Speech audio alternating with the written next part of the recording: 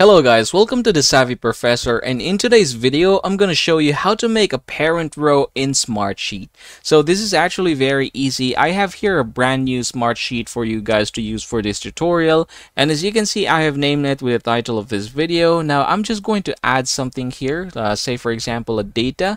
Now I'm just going to start with cell number 2 here. Now I'm going to try and type here say for example a parent right? There you go.